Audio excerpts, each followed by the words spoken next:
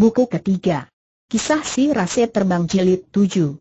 Si Gagu menunjuk delapan giok liong pue yang terletak di atas meja, seperti juga ingin mengatakan, bahwa ia ingin mengantongi cangkir-cangkir itu. Kau mau turut merebut cangkir? Tanya pula si pendeta. Pemuda itu mengangguk. Di sini masih ada kursi kosong, mengapa kau tak mau duduk di situ? Si sastrawan membuat gerakan-gerakan yang memperlihatkan bahwa ia takut dihajar orang. Kalau kau takut duduk di situ, mengapa kau berani duduk di belakang kursiku? Si sastrawan menendang dengan kakinya, kemudian badannya merosot ke bawah dan ia lalu duduk di kursi haji. Ia ingin mengunjuk bahwa ia tidak takut terhadap pendeta itu yang ingin ditendang olehnya dan direbut kursinya.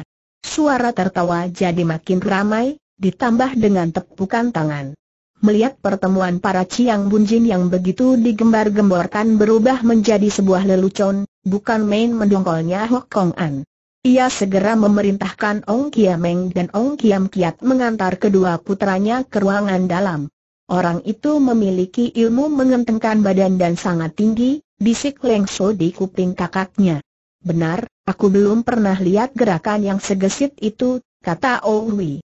Ia rupanya sengaja mengacau, kata pula Nona Tia. Owi mengangguk. Sekarang, sejumlah orang juga sudah dapat melihat maksud sebenarnya dari sastrawan itu. Ia bukan semata Mete mau menggoda Hachi, tapi itu Won yang sesungguhnya ialah mengubah pertemuan para Ciang Bunjin yang sangat tangker menjadi serupa lelucon. Sementara itu, si sastrawan mengacungkan kipasnya seraya berkata, Hachi Huoshio, kau tak boleh berlaku kurang ajar terhadapku. Lihatlah. Di atas kipasku ini terdapat leluhurmu, Haji mengawasi, tapi tak melihat sesuatu yang luar biasa. Aku tak percaya omongan gilamu katanya dengan melotot.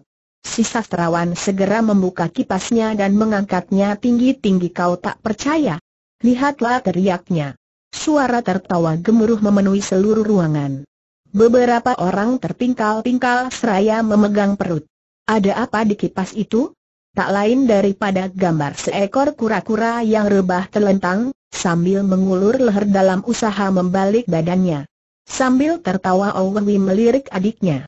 Mereka tidak bersangsi lagi, bahwa pemuda itu memang sengaja datang untuk mengacau. Diam-diam mereka merasa kagum, karena tempat itu adalah seperti sarang harimau. Haji gusar tak kepalang. Kau maki aku sebagai kura-kura teriaknya. Binatang. Benar-benarkah sudah bosan hidup tapi pemuda itu tetap tenang. Apa jeleknya menjadi kura-kura katanya sambil tersenyum. Kura-kura panjang umurnya. Maksudku ialah untuk mendoakan supaya kau berumur panjang, Fui Haji membuang ludah. Jangan kau berlagak pailon. Apa kau tak tahu, bahwa perempuan yang mencuri lelaki barulah dinamakan kura-kura? Aha! Maaf, maaf kata si sastrawan seraya menyoja. Kalau begitu, Toah Shio juga boleh mempunyai istri Haji tak dapat menahan sabar lagi. Bagaikan kilat tangannya menyambar punggung sastrawan nakal itu. Kali ini, si sastrawan tak keburu berkelit, punggungnya dicengkeram dan ia dilemparkan di lantai. Haji Taisu adalah seorang ahli dalam ilmu menyengkeram dan membanting di wilayah Mongolia, di mana ilmu itu terbagi jadi tiga partai, yaitu Toa Jiao, Tiong Jiao dan Xiao Jiao. Pendeta itu adalah Chiang Bunjin dari Tiong Jiao Bun dan kekuatannya yang terutama terletak pada punggung dan lututnya. Dalam menyengkeram dada dan punggung musuh, ia belum pernah mengalami kegagalan. Begitu si sastrawan dibanting, semua orang mengawasi dengan menahan napas. Mereka merasa pasti, pemuda itu, yang dibanting hebat, akan mendapat luka berat. Tapi di luar dugaan, badan si sastrawan bisa membal bagaikan karet, begitu tubuhnya menyentuh lantai, begitu ia melompat dan berdiri di atas kedua kakinya. Ia tertawa hahaha seraya berkata, Toahu Osio, kau tak akan mampu merubuhkan aku, sekali lagi, teriak Haji. Boleh, jawabnya seraya menghampiri. Mendadak ia mengangsurkan kedua tangannya untuk menyengkeram dada pendeta itu. Para hadirin heran bukan main. Si pendeta bertubuh tinggi besar, sedang ia sendiri kurus kecil. Hachi adalah ahli dalam ilmu menyengkeram dan membanting. Bagaimana ia berani menyerang musuh dengan cengkeraman? Sambil menyeringai si sastrawan menyengkeram pundak lawan dan menubruk terus dan memeluk leher si pendeta, seraya menendang dengan kedua kaki. Tendangan itu mengenakan tepat pada jalanan darah di lutut dan tanpa. Ampun lagi, Hachi jatuh berlutut. Tapi sebagai jago, dalam kekalahan, ia tak bingung. Dengan cepat, ia membalik tangan, menyengkeram punggung pemuda itu yang lalu dibanting dan ditindih dengan tubuhnya yang seperti raksasa. Aduh! Aduh teriak si sastrawan sambil meleletkan lidah dan membuat muka yang lucu-lucu. Tong Pei, Hei Pit dan yang lain-lain sekarang insyaf, bahwa pemuda itu adalah seorang ahli yang berkepandaian tinggi dan yang bertujuan untuk mengacau pertemuan Chiang Bunjin. Sementara itu, San Hui Hang terus melayani Siang Kean Tiat Seng dengan hebatnya. Sebagai pentolan Gao Bundi Hang Yang Hu, kepandaian San Hui Hang yang paling disegani adalah Tie Lian Kang, ilmu teratai besi, yaitu ilmu menendang dengan sepatu yang berujung besi tajam. Dengan pengalaman puluhan tahun, Siang Kean Tiat Seng tahu kelihayan lawannya. Maka itu, setiap kali kaki Onasan bergerak, Buru-buru ia melompat mundur atau ke samping. Tapi, dalam pada itu, diam-diam ia merasa sangat malu, sebab, sebagai seorang kenamaan dalam dunia Kang Ou, ia masih belum dapat merubuhkan seorang wanita muda, sesudah bertempur hampir seratus jurus. Di lain pihak, makin lama Hui Hang menendang makin gencar dan kakinya selalu ditujukan ke bagian-bagian tubuh lawan yang berbahaya. Tiat Seng jadi bingung dan segera mengambil keputusan untuk menggunakan pula Hun Chue-nya. Tiba-tiba ia melompat mundur dan tertawa berkakakan. Tendangan-tendanganmu sama sekali tiada harganya, katanya, mengejek, dan terus menghisap pipa. Hui Hang buru-buru melompat mundur. Tiba-tiba, pada paras muka Tiat Seng terjadi perubahan aneh. Matanya mendelik dan ia mengawasi si Nona dengan sorot mata seekor anjing gila. Sesaat kemudian, seraya berteriak keras, ia menyeruduk bagaikan kerbau edan. Melihat begitu, si Nona jadi keder dan secepat kilat meloncat ke samping. Tiat Seng menyelonong terus, menerjang ke arah Hokong An. Kek Tiat Yo yang berdiri di belakang pembesar itu, buru-buru melompat ke depan, menangkap tangan Tiat Seng dan mendorongnya, sehingga sesudah terhuyung, ia rubuh di lantai. Tapi dengan lekas ia bangun berdiri dan menyeruduk pula ke meja lain. Semua orang terkejut. Dilihat cara caranya, ia ternyata gila mendadak. Ongwi melirik adiknya sambil tersenyum. Ia mengerti bahwa kejadian itu adalah pekerjaan Leng Sou. Tadi, waktu mengembalikan Hun Chue, diam-diam si Nona menaruh semacam racun di kepala pipa, sehingga, begitu dihisap, racun itu lantas saja bekerja. Di lain saat, Siang Kean Tiat Seng bergulingan di lantai, menubruk dan memeluk satu kaki meja yang lalu digeragotinya, seperti caranya seekor anjing gila. Semua orang menyaksikan dengan mulut ternganga dan bulu mereka bangun semua. Sedang yang lain membungkam, Haci seorang terus mencaci. Binatang kecil. Siu Cai bangsat. Ini semua gara-gara rambut anaknya. Kura-kura nyali kecil. Lebih baik kau tutup mulut, si sastrawan mengejek. Kalau aku mau maki kau, mau apa kau, Siucai bangsat teriak Haci. Kau hanya berani terhadap aku, Hu Eje, si sastrawan. Apa kau berani terhadap Tai Sue? Jika kau manusia bernyali, coba katakan, Tai Sue bangsat, si pendeta yang sudah setengah kalap, lantas saja berteriak, Tai Sui bangsat baru saja perkataan itu keluar dari mulutnya, ia terkesiap dan insyaf, bahwa lidahnya terpeleset. Aku, aku, sebenarnya mau mencaci kau, katanya, terputus-putus. Si sastrawan tertawa nyaring. Aku bukan Tai Sui, katanya. Aku sudah kata, nyalimu nyali cecurut. Dalam bingungnya karena khawatir mendapat hukuman, Hachi segera menubruk. Pemuda itu mengegus dan mendorongnya, sehingga ia rubuh terguling dan apa mau, ia jatuh menindih siang ke Antiat Seng yang sedang menggeragoti kaki meja. Tiat Seng berbalik dan memeluknya, akan kemudian membuka mulut untuk menggigit kepalanya. Ia coba memberontak, tapi pelukan itu bagaikan lingkaran besi dan di lain saat, kepalanya sudah digigit sehingga berlumuran darah. Bagus! Bagus seru si sastrawan seraya menepuk-nepuk tangan. Perlahan-lahan ia mendekati meja Giok Liong Pue dan mendadak tangannya menyambar dua buah cangkir. Ia menengok ke arah San Hui Hang, mengangsurkan sebuah cangkir dan berkata, cangkir sudah didapat, mari kita berlalu si Nona terkejut. Ia belum mengenal pemuda itu, tapi mengapa dia begitu manis terhadapnya? Tapi ia tak sempat memikir panjang-panjang. Ia mengangguk, menyambuti cangkir itu dan lalu mengikuti dari belakang. Enam Wiesu yang melindungi Hokong An, lantas saja berteriak-teriak, tangkap tangkap mata-mata. Tangkap pencuri cangkir seraya berteriak-teriak, mereka mengejar.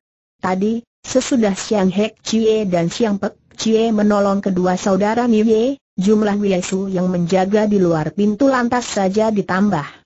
Sekarang, mendengar teriakan di dalam, mereka lantas saja menerjang masuk sambil menghunus senjata. Dipimpin oleh Ante Etok, mereka segera mengurung si sastrawan dan San Hui Hong, Si sastrawan tersenyum. Kalau kamu maju setindak lagi, aku akan segera membanting cangkir ini, katanya seraya mengangkat tangannya yang memegang cangkir. Para Yesu bersangsi dan serentak mereka menghentikan tindakan. Melihat bahaya besar, San Hui Hang mengeluh dan menyesalkan kebodohannya sendiri. Ia menghadiri Chiang Bun Jin Tai Hwee hanyalah untuk melihat-lihat keramaian dan sama sekali tidak mempunyai maksud lain. Ia menyesal dan merasa tidak mengerti, mengapa ia mengikuti pemuda itu. Ongwi khawatir sangat dan melirik adiknya. Leng Sung menggeleng-gelengkan kepala untuk melarang kakaknya bergerak. Memang juga, dalam menghadapi begitu banyak musuh, jika turun tangan, mereka hanya akan membuang jiwa secara cuma-cuma. Sementara itu, Helan Pit sudah bangun berdiri dan menghampiri dengan tindakan lebar. Semua orang mengawasi dengan hati berdebar-debar. Mereka yakin, bahwa sekali turun tangan, Helan Pit akan dapat merubuhkan kedua orang muda itu. San sekarang kita harus mengubah sikap, kata si sastrawan sambil tertawa. Jika cangkir ini dibanting, mungkin sekali, sebelum jatuh, sudah ada orang yang menyangganya. Begini saja, aku akan meneriakkan satu, dua, tiga dan berbareng dengan perkataan tiga, kita meremukan di dalam tangan, memang juga Helen Pitt ingin menangkap cangkir itu waktu dibanting dan oleh karenanya, begitu mendengar perkataan si sastrawan, ia segera menghentikan tindakannya. Melihat begitu, Kamling Hui Chit Sempong Pia tertawa terbahak-bahak dan lalu menghampiri. Saudara kecil, katanya sesudah berhadapan dengan si sastrawan, boleh aku mendapat tahu si dan namamu yang besar? Hari ini kau telah mendapat muka terang. Kau telah menggetarkan seluruh rimba persilatan. Maka itu, mana boleh kau tidak meninggalkan si dan nama pemuda itu tersenyum. Tak perlu, jawabnya. Pertama, ku datang bukan untuk merebut nama dan kedua, bukan untuk menarik keuntungan. Melihat cangkir giok yang indah itu, Aku merasa suka dan ingin membawanya pulang untuk dibuat main. Sesudah merasa bosan, aku akan segera mengembalikannya, Tong Pe tertawa. Saudara kecil, ilmu silatmu sangat luar biasa, katanya pula. Sesudah memperhatikan beberapa lama, belum juga aku dapat menebak asal-usul ilmu silatmu dan siapa adanya gurumu. Mungkin sekali, antara kita masih terdapat ikatan erat. Saudara kecil, orang muda suka main-main adalah kejadian lumrah. Dengan memandang mukaku, Hok Tai Sue pasti tidak akan merasa gusar. Saudara kecil, lebih baik kau masuk lagi dan makan minum pula sambil menonton keramaian. Ia berpaling ke arah para Yesus Raya berkata, mundurlah. Saudara kecil ini sahabat kita. Ia hanya guyon-guyon dan tak perlu kalian menghunus senjata, Mendengar perkataan itu, semua Wei lantas saja mundur. Orang Sitong, aku sungkan masuk dalam perangkapmu, kata si sastrawan sambil tersenyum. Kalau kau maju setindak lagi, aku akan segera meremukan cangkir ini. Kalau benar kau laki-laki, pinjamkanlah cangkir ini kepadaku. Aku akan membawanya pulang dan main-main tiga hari lamanya. Sesudah lewat tiga hari, aku akan mengembalikannya, dengan hati berdebar-debar, semua orang mengawasi Tong Pei. Kam Lim Hui Chik Seng tertawa terbahak-bahak. Urusan kecil, katanya. Tapi, saudara kecil, cangkir yang berada dalam tanganmu belum ada pemiliknya. Sebagaimana kau tahu, dengan baik hati Hok Tai Sue telah menghadiahkan sebuah cangkir kepadaku. Begini saja, aku akan meminjamkan cangkirku itu. Kau boleh bermain-main dalam tempo yang tidak terbatas dan nanti, sesudah bosan, barulah kau memulangkannya kepadaku. Bagaimana? Apa? Kau setuju? Sehabis berkata begitu, ia menghampiri meja cangkir, mengambil sehelai sutra sulam dan lalu menaruh cangkirnya sendiri di dalam sutra itu.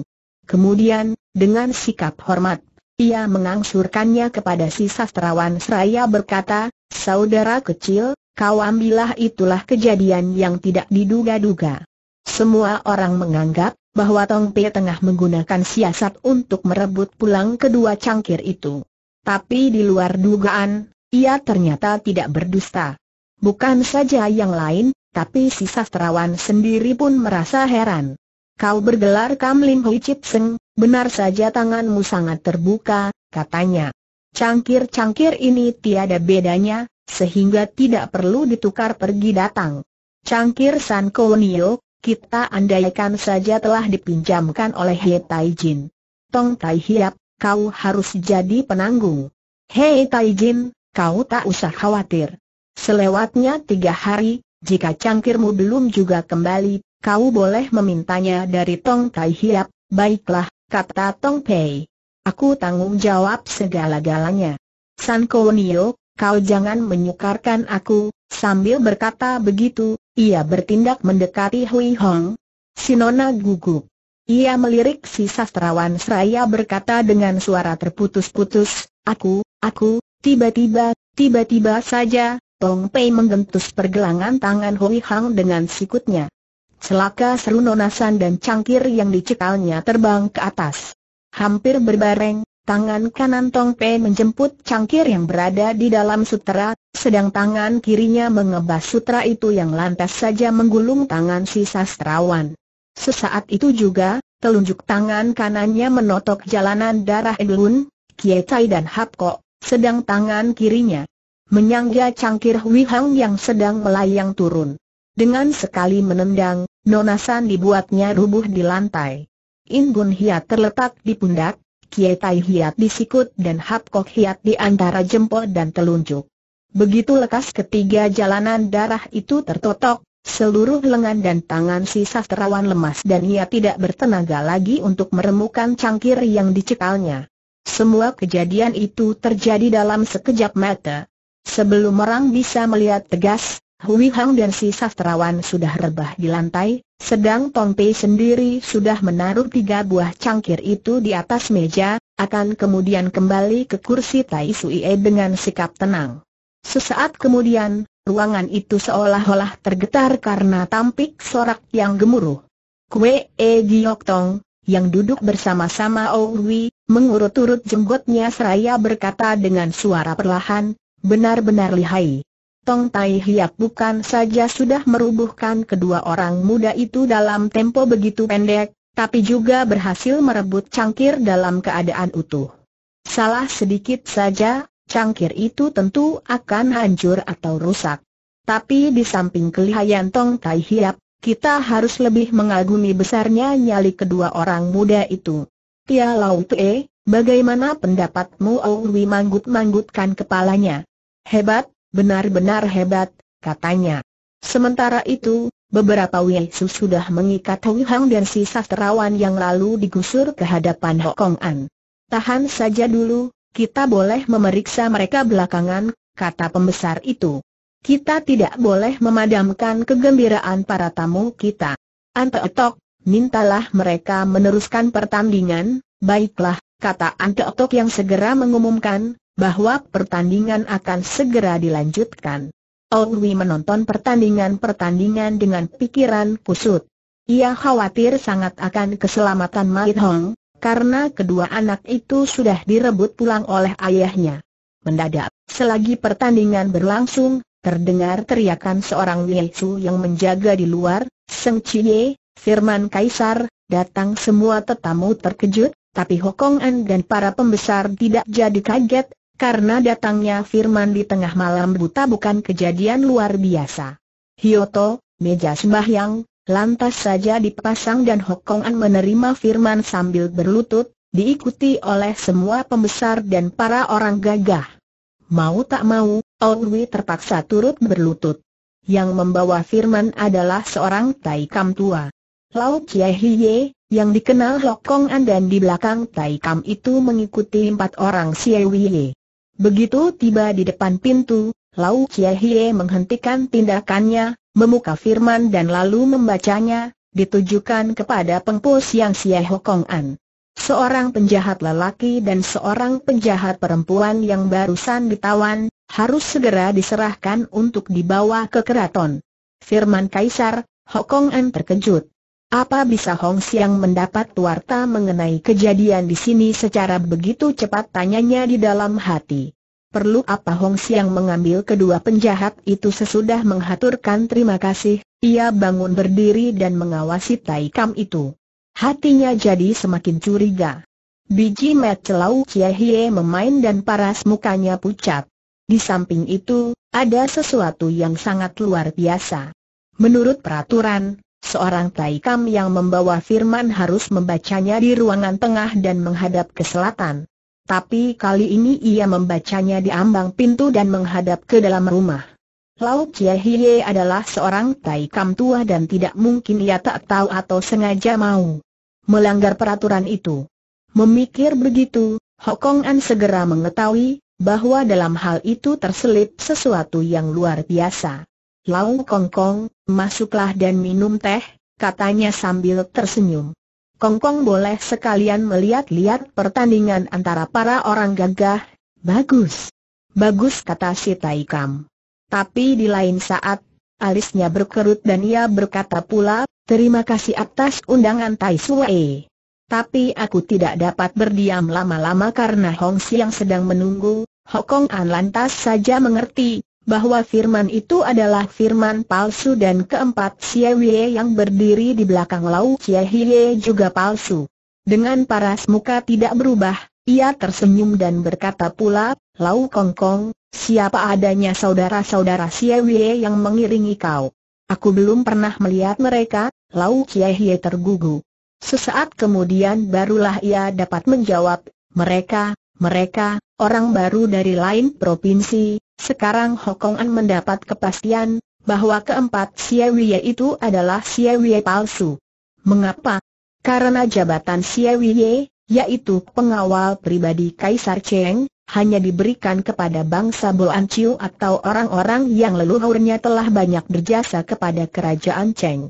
Ia mengerti bahwa tindakan sekarang yang paling penting adalah memisahkan keempat orang itu dari Lau Chie Hie. Maka itu, sambil menunjuk Hui Hang dan si sastrawan, ia berkata, kalau begitu, Xie Wei aku boleh membawa mereka salah seorang Xie Wei lantas saja maju mendekati si sastrawan. Tiba-tiba Hokong An membentak, tunggu dulu. Boleh aku mendapat tahu si Xie Wei aku itu yang mulia? Menurut kebiasaan memang Hokong An selalu berlaku hormat kepada Wei Keraton dan selalu memanggil mereka dengan panggilan Wei To Aku. Tapi, oleh karena kedudukan Wei jauh lebih rendah daripada pembesar itu, maka menurut adat istiadat, jika ditanya, ia haruslah menghampiri dan menjawabnya sambil membungkuk. Tapi Wei itu hanya menjawab, Aku si Tio sudah berapa lama Tio To aku berada di keraton tanya pula pembesar itu. Mengapa kita belum pernah bertemu sebelum dia keburu menjawab, mendadak seorang Xie yang berbadan gemuk dan berdiri di belakang Lau Xie Hie, mengayunkan tangannya dan serupa senjata rahasia yang bentuknya menyerupai alat-alat tenun dan sinarnya putih berkelebatan menyambar meja Giok Liong Pue. Sambaran Ginso, alat-alat tenun dari perak, Hebat luar biasa, dan kalau kena, semua cangkir pasti akan hancur. Sambil mengeluarkan teriakan kaget, sejumlah Wiesu segera melepaskan senjata rahasia mereka. Hampir berbareng, Tie Lian Chie dan sebagainya, kira-kira tujuh delapan senjata rahasia, menyambar ke arah Ginso. Tapi Xie Wei gemuk itu pun segera mengayun kedua tangannya dan tujuh delapan senjata rahasia terbang menyusul. Di lain saat, terdengar suara tering terang tering, dan semua senjata rahasia para Wiesu terpukul jatuh oleh senjata rahasia si gemuk, sedang Ginso sudah tiba di atas meja. Dan sungguh aneh, begitu menggaet salah sebuah cangkir, senjata rahasia itu terbang balik dan akhirnya kembali di tangan si Xie gemuk. Untuk sejenak seluruh ruangan sunyi senyap. Semua mata mengawasi pertunjukan menakjubkan itu dengan mata membelalak dan mulut ternganga. Sekonyong-konyong kesunyian dipecahkan dengan teriakan, Tio Samko orang yang berteriak ialah Hui. Ternyata, yang menyamar sebagai Xie gemuk bukan lain daripada Tio Po Ansan, sedang Xie yang mau menolong si sastrawan juga seorang tokoh Hang Hoa Hue, yaitu Kui Chian Chiu Chiu Siang Eng. Sudah lama jago-jago Ang Hoa Hue itu menanti di luar gedung Hokong An. Pada waktu si sastrawan tertangkap, Tai Kam Lau Chie Hie kebetulan lewat di depan gedung. Mereka lalu membekuknya dan menulis sebuah firman palsu. Hanya sayang, karena tidak mengerti peraturan keraton, maka begitu menjalankan siasat, rahasia mereka segera ketahuan. Melihat kecurigaan Hok Kong An, Tio Po An San segera mendahului melepaskan Hui Yan Ginso berhasil merebut sebuah cangkir giok liong pue. Senjata rahasia itu yang berbentuk setengah lingkaran dan yang bisa terbang balik ke tangan yang melepaskannya, adalah senjata istimewa buatan Tio Po An San sendiri. Hampir berbareng dengan direbutnya Giok Liong Pue, Po An San mendengar seruan Tio Sam Kola kaget, karena seruan itu bernada penuh kecintaan dan kegirangan. Dengan matanya yang sangat tajam, ia menyapu seluruh ruangan, tapi ia tidak bisa menebak siapa yang berteriak begitu. Sebagaimana diketahui, semenjak Owi berpisahan dengan Tio Po Ansan, banyak tahun telah berlalu sehingga romen dan potongan badan Owi sudah berubah banyak. Jangankan ia sekarang menyamar, sekalipun tidak, Tio Po Ansan tentu tak akan dapat mengenalinya.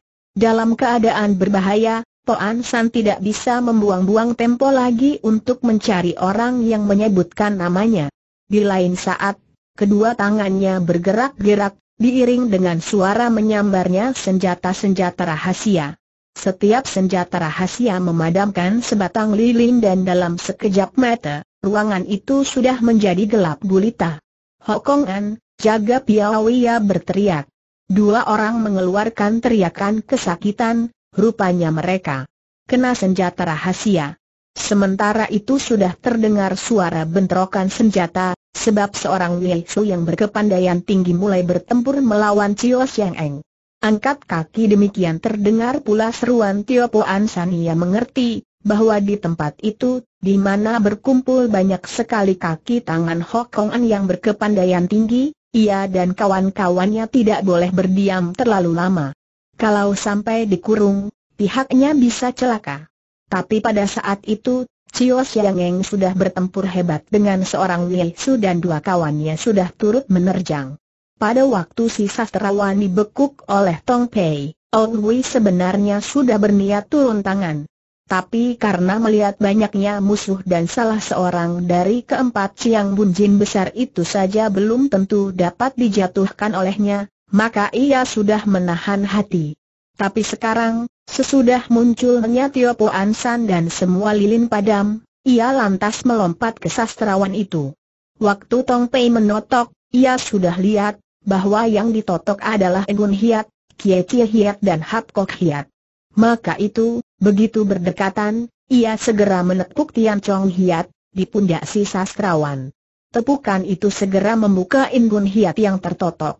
Sesudah itu, ia menekan Tian Tai Hiat si sastrawan. Mendadak, kesiuran angin telapak tangan menyambar. Buru-buru Ou Hui membalik tangan kirinya dan menyambut pukulan itu.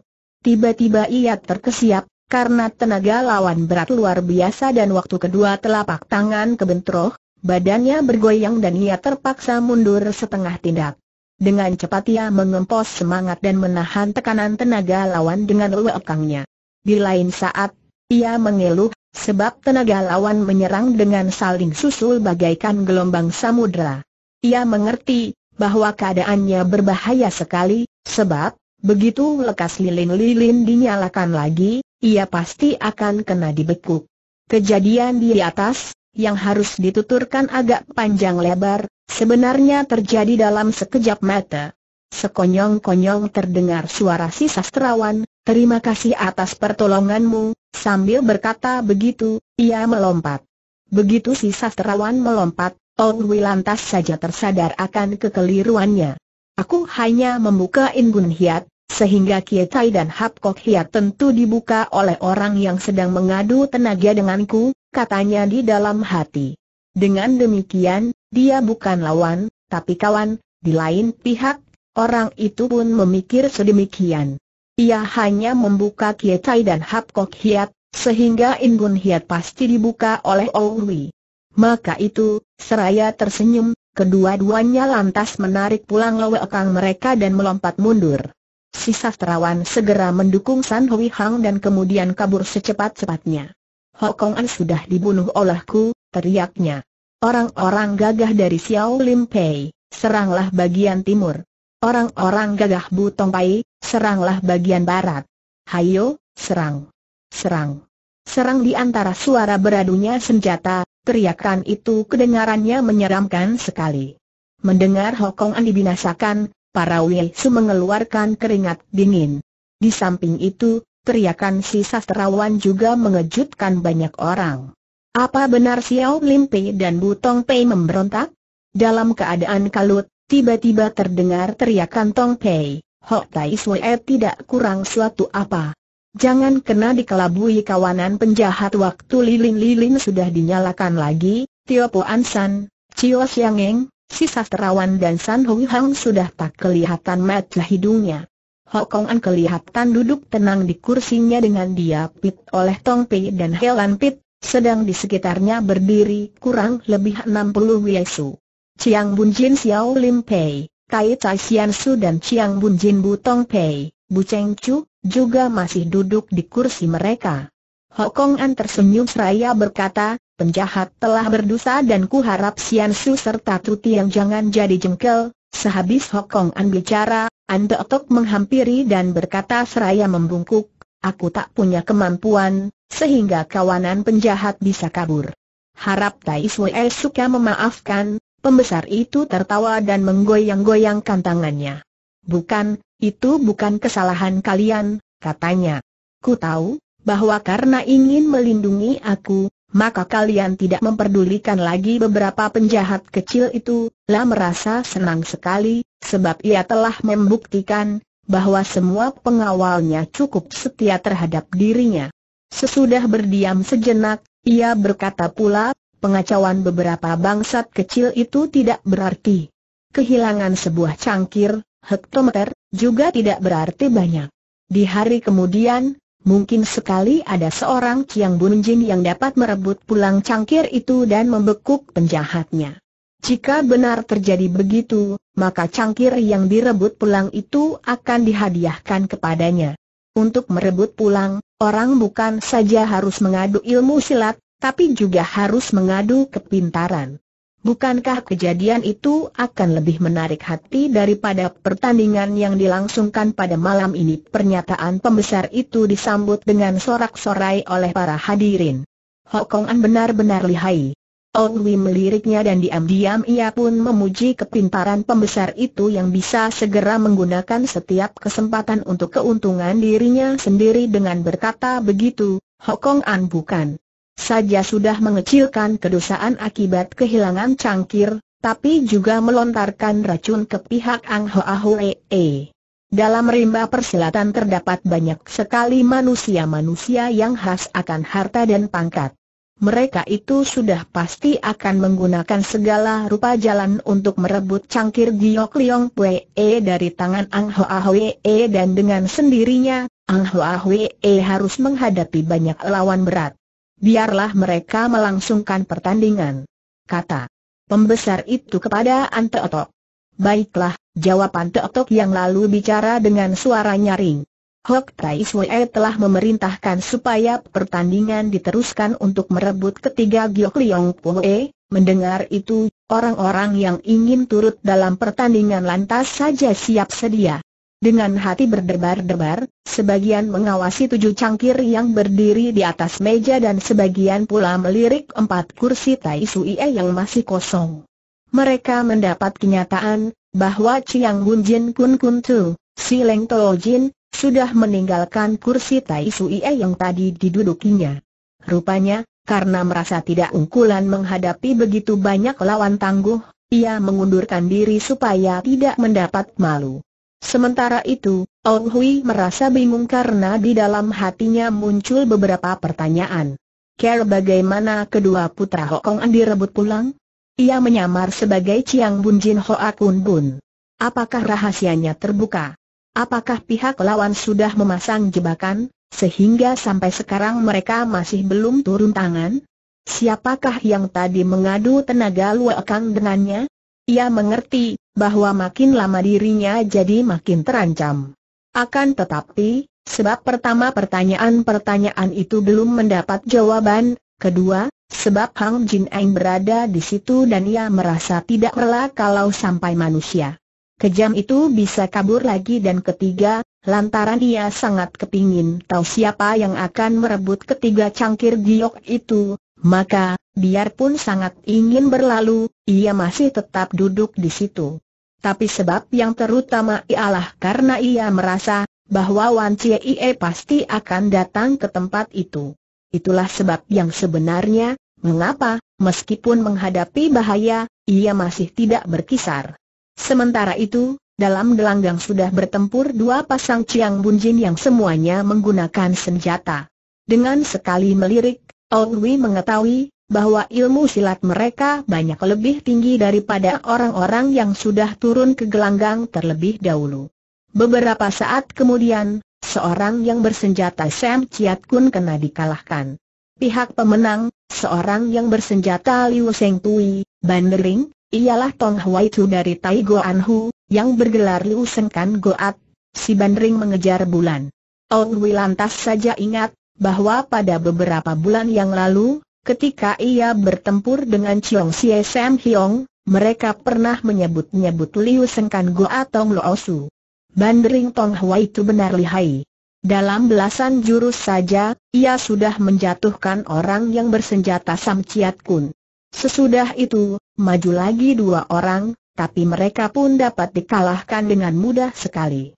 Dalam pertandingan antara jago-jago silat, kecuali kalau mereka sedang mengadu tenaga W.E. Kang, dalam satu dua gebrakan saja, mereka sudah tahu, siapa yang lebih kuat, siapa yang lebih lemah. Orang-orang yang sekarang bertanding kebanyakan belum pernah mengenal satu sama lain dan pada hakikatnya, mereka sungkan menanam bibit permusuhan. Maka itu, begitu lekas seseorang merasa kepandaiannya kalah, buru-buru ia mengundurkan diri. Orang-orang yang berkepandaian cetek, diam-diam merasa kecewa, karena pertandingan-pertandingan yang sekarang berlangsung tidak sehebat pertempuran yang tadi terjadi di antara San Hui Hang, Yang Kong Cheng, Hachi Hua Shio dan lain-lain. Akan tetapi, orang-orang yang berkepandaian tinggi mengetahui, bahwa makin lama jago-jago yang turun ke gelanggang makin tinggi kepandaiannya. Melihat begitu, beberapa Ciang Bunjin yang semula ingin turut bertanding, jadi mundur dengan sendirinya.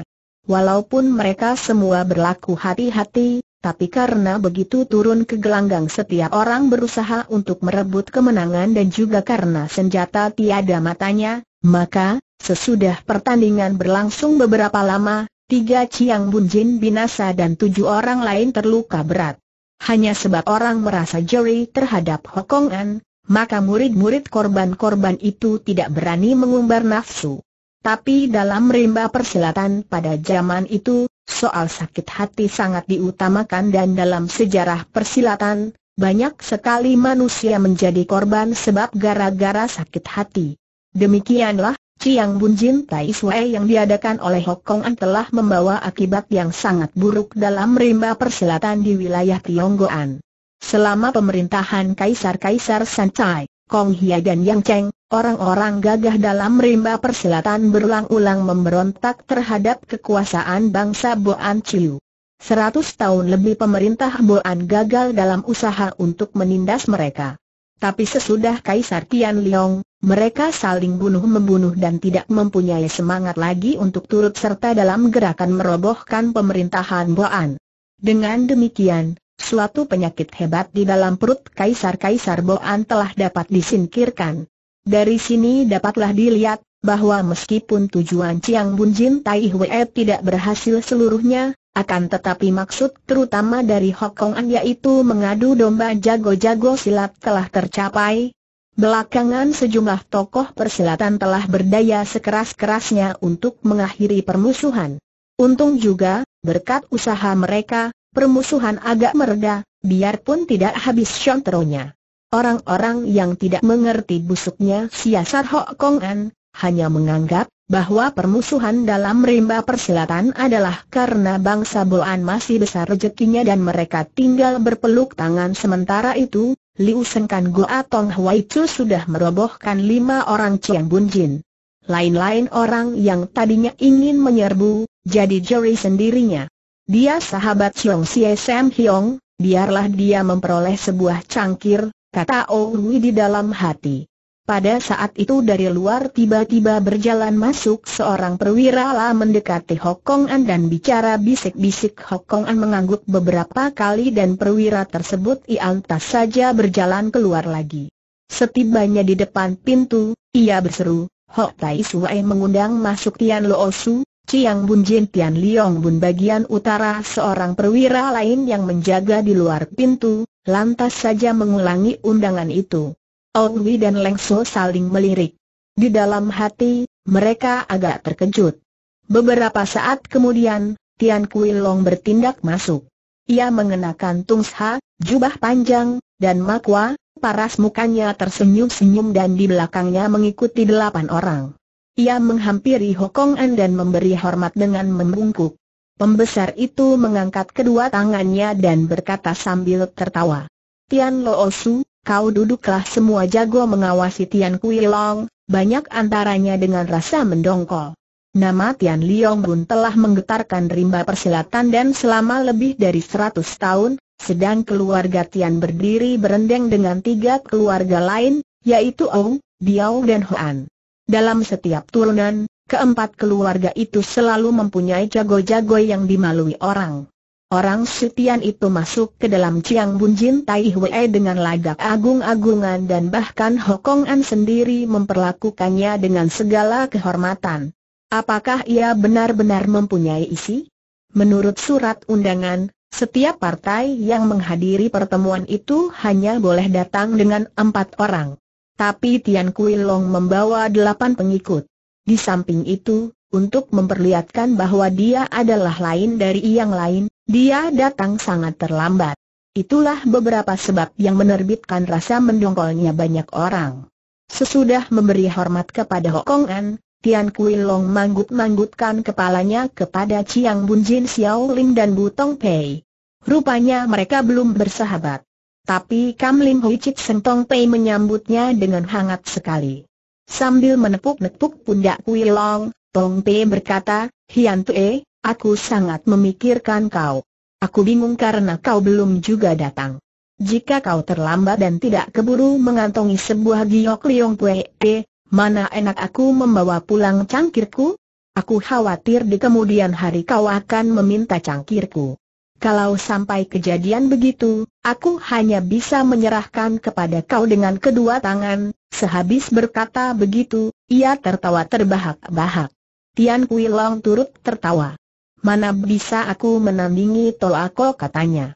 Dengan memperoleh perlindungan Toako, aku sudah merasa sangat girang jika bisa membawa pulang sebuah cangkir perak, Pembicaraan itu menambah rasa mendongkol dalam hatinya banyak orang.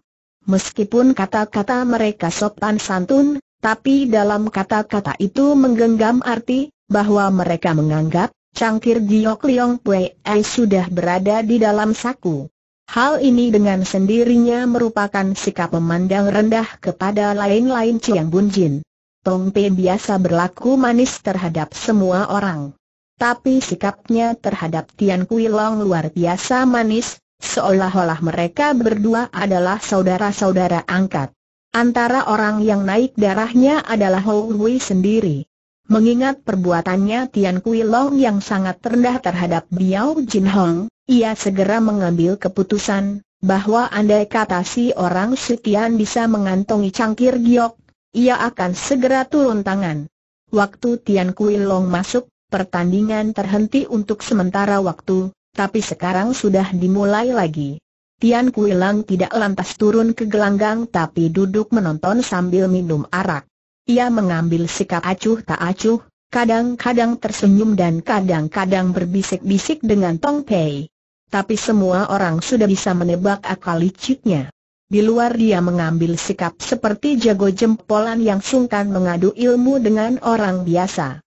Tapi maksud sebenarnya, dia mau menunggu sampai yang lain-lain lelah supaya bisa mengantongi kemenangannya dengan sekali pukul.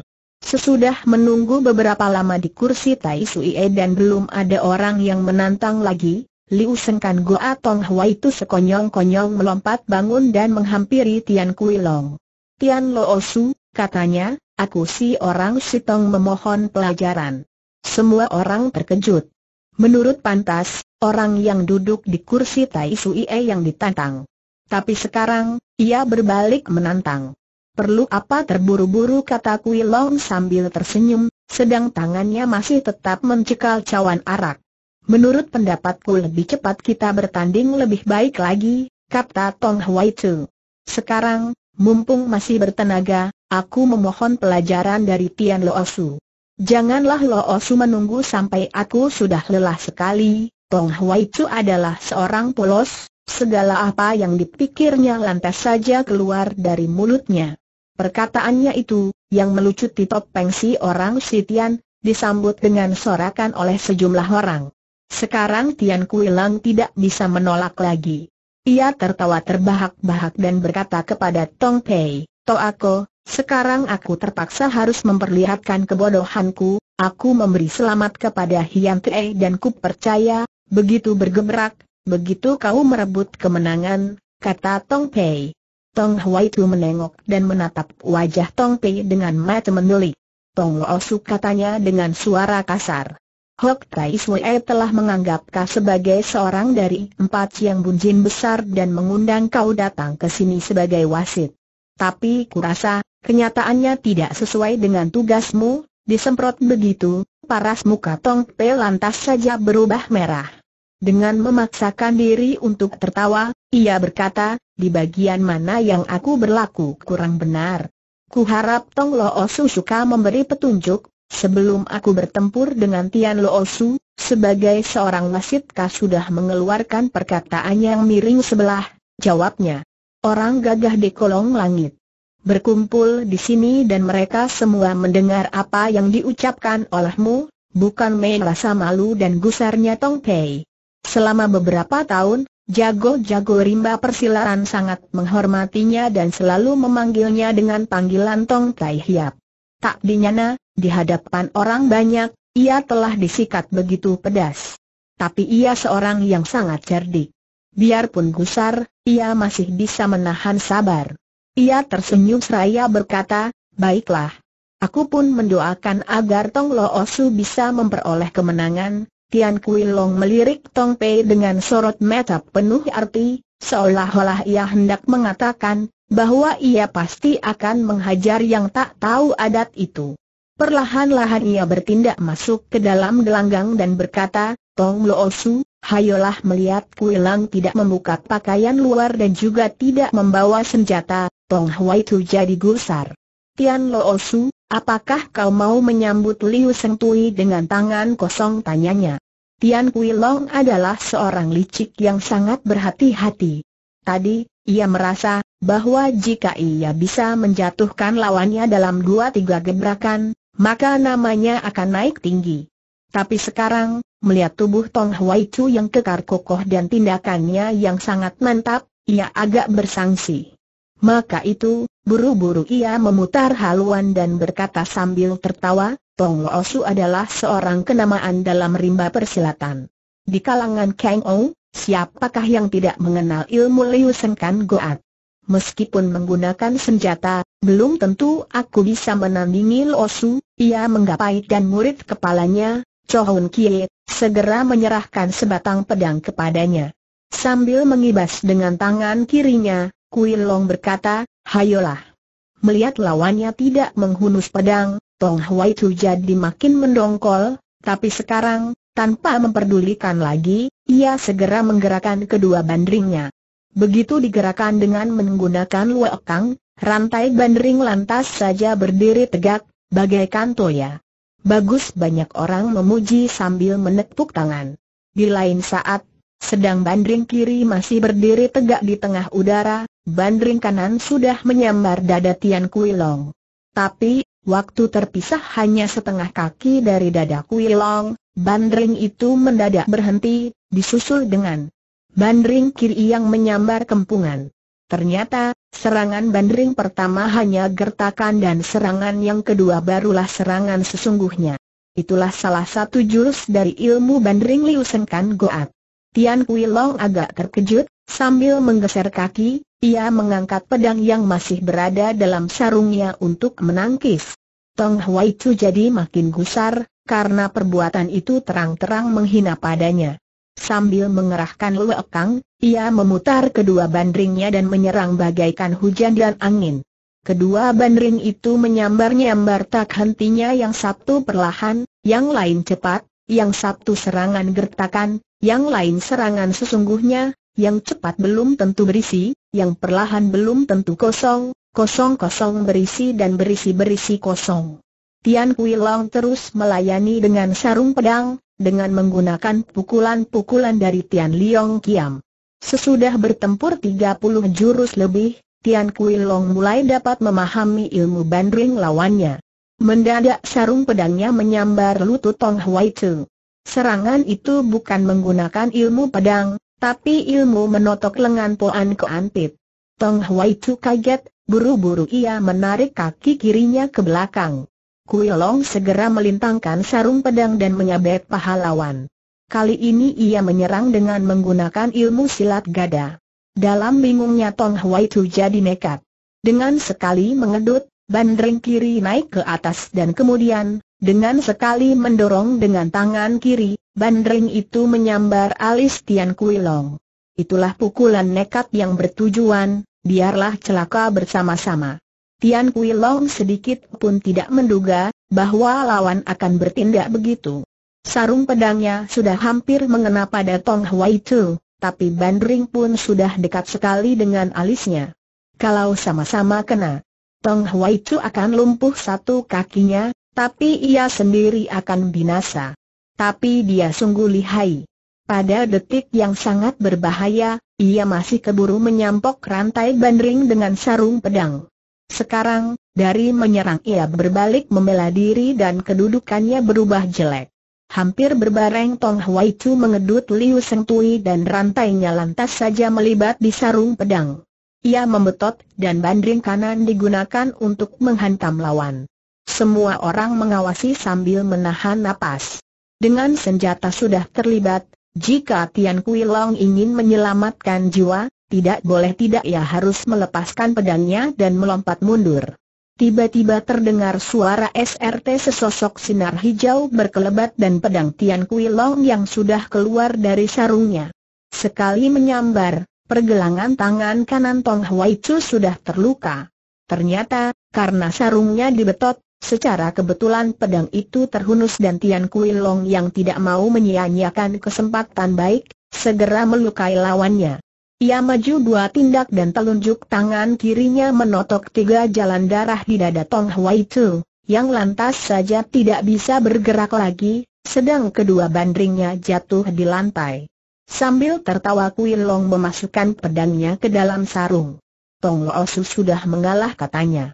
Meskipun menang, tapi sebab kemenangan itu diperoleh lantaran kebetulan, maka kecuali Tong Pei dan beberapa orang lain, para hadirin tidak bersorak-sorai untuk memujinya. Tanpa membuka jalan darah Tong Hua itu, Kui Long segera duduk di kursi Tai Sui dan beromong-omong dengan Tong Pei sambil tertawa-tawa. Sedikit pun ia tidak menghiraukan bekas lawannya yang masih berdiri terus di tengah gelanggang bagaikan patung. Di antara para tamu terdapat banyak ahli tiam hiat. Mereka merasa mendongkol akan sikap si orang sitian, tapi mereka tahu bahwa jika menolong Tong Hua itu, mereka akan bermusuhan dengan Tian Kui Long dan Tong Pei.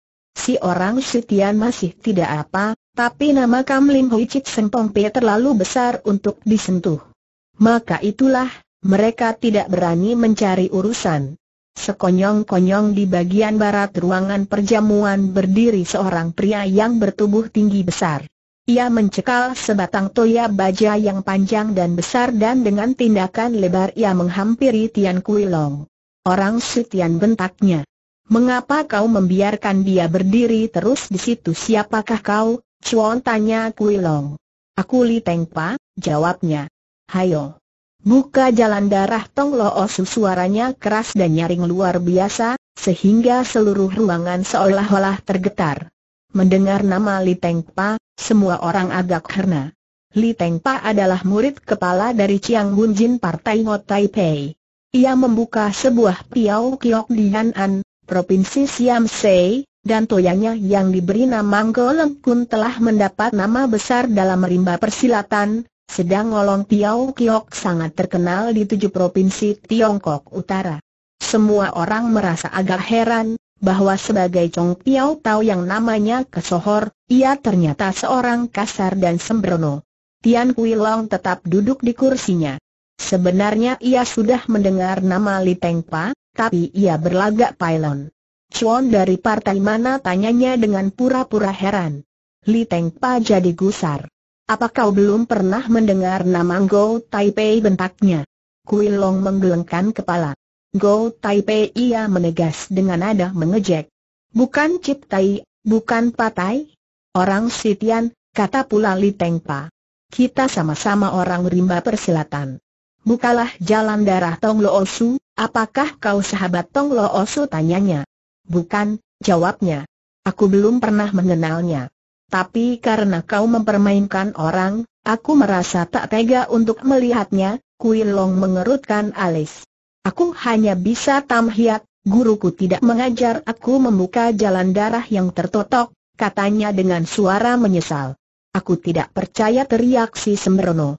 Sementara itu, Hokong An dan orang-orang sebawahannya menonton kejadian itu dengan tersenyum-senyum. Mereka tahu, bahwa Tian Kui Long sedang mempermainkan bekas lawannya, tapi sesudah menonton banyak pertempuran, lelucon itu merupakan selingan yang menarik hati. Melihat Hok Kong An tertawa-tawa, Kui Long jadi makin mangkat. Begini saja katanya. Kau tendanglah lututnya.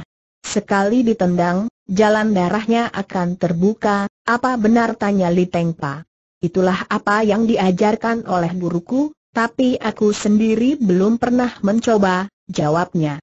Si Semibrono segera menghampiri Tong Hwai Tu dan menendang salah satu lututnya. Tendangan itu tidak keras, tapi Tong Hwai Tu roboh terguling dengan tak bisa bangun berdiri. Li Tengpa baru tahu bahwa ia sudah diakali. Hok Kong An tertawa terbahak-bahak, diturut oleh kaki tangannya.